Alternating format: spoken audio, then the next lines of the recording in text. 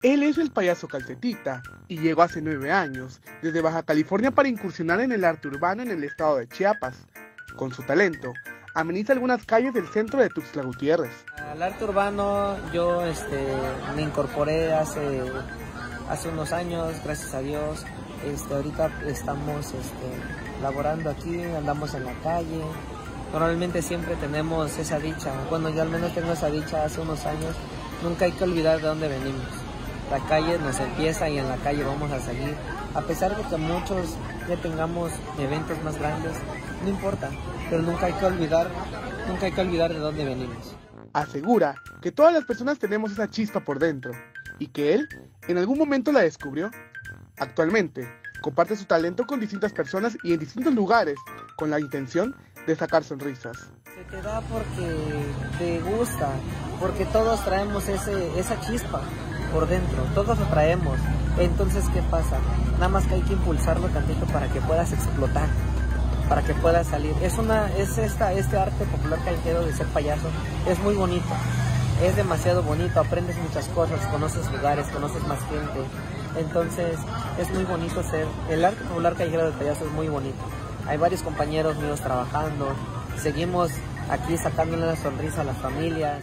Comenta que este trabajo le ha ayudado a salir adelante como persona, pero también como ser humano. Por lo que invita a las personas que les gusta e interesa ese tipo de expresión, que se acerquen a las personas que saben del tema. Me impulsa bastante hacerlo. A mí me impulsó salir adelante y crecer como mi persona.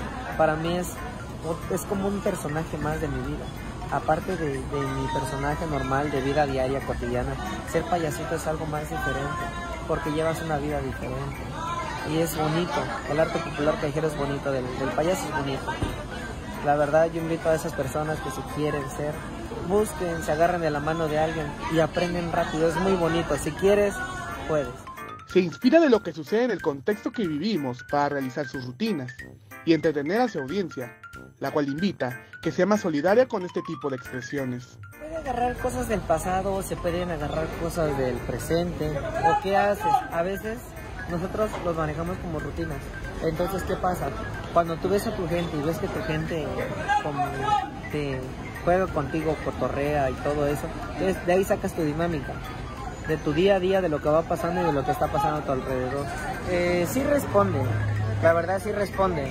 Todo implica de tu trabajo que tú lleves. Si tú trabajas bien y, te expresas bien, eh, nos pueden localizar en el Parque de Terán, Ahí estamos nosotros en el parquecito, ahí nos encuentran. En cualquier día están invitados, sábados y domingos. Nos encontramos desde 7 de la mañana, desde las 7 de la noche, perdón, en adelante. Con imágenes de Christopher Canter, para Alerta Chiapas, Eric Chandonino.